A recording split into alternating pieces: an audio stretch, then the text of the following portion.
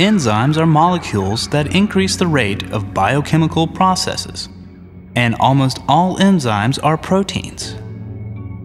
Today, we will look at 10 enzymes that make possible the 10 steps in the breakdown of sugar. This process is called glycolysis. This molecule is hexokinase. A kinase is an enzyme that attaches a phosphate group to another molecule. The enzyme isn't changed by the reaction, it's just the agent of change. Hexokinase captures a glucose molecule in its active site and holds it in just the right orientation, like a robot arm might do in an automobile assembly line. It then takes the last phosphate group from an ATP molecule and attaches it to the glucose. Glucose and ATP go in, and glucose 6 phosphate and ADP come out. This enzyme is phosphoglucose isomerase, and its job is to change the shape of the molecule we just made. It takes the glucose 6 phosphate and shuffles a few atoms and makes fructose 6 phosphate.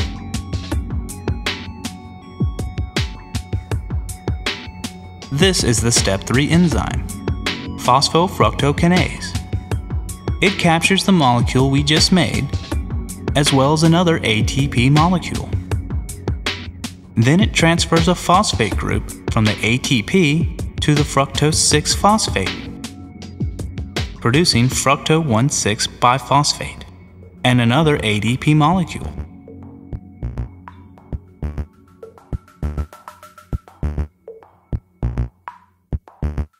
At this stage, the sugar molecule is primed, and the cell is ready to start breaking it up. This molecule is fructose 1,6 biphosphate aldolase, and it cuts the molecule in the middle, producing two similar pieces, each with a single phosphate attached. This enzyme has multiple subunits.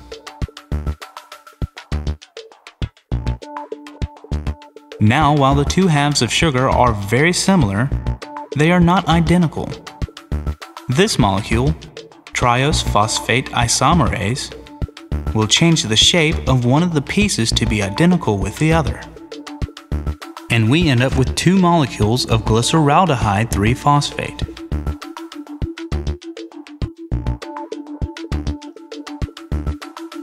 Glyceraldehyde 3-phosphate dehydrogenase is another enzyme with multiple subunits.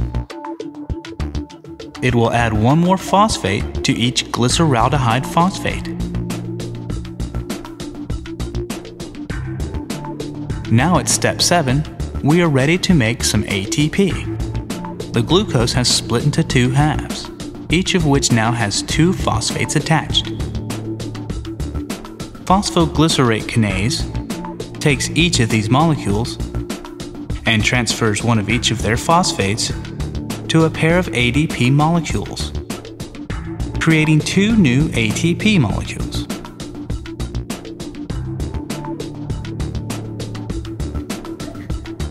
The last three steps of glycolysis will remove the remaining phosphates from the two pieces and use them to make more molecules of ATP phosphoglycerate mutase begins this final capture of energy by shifting the phosphate from the end of the molecule to a strategic place in the center.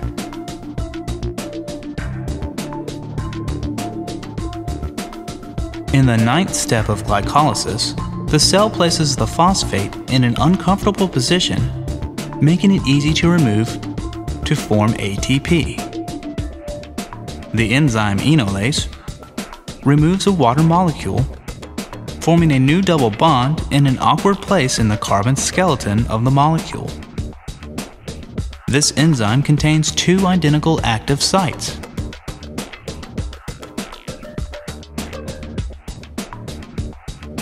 In the last step of glycolysis, the cell is finally ready to make a net gain in ATP production.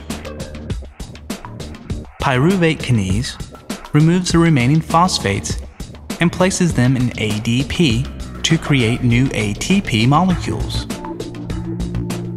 This allows the unstable little sugar fragments to rearrange into stable pyruvate molecules. These pyruvates leave glycolysis and are subsequently burned up completely into carbon dioxide and water, or converted into throwaway molecules like alcohol or lactic acid.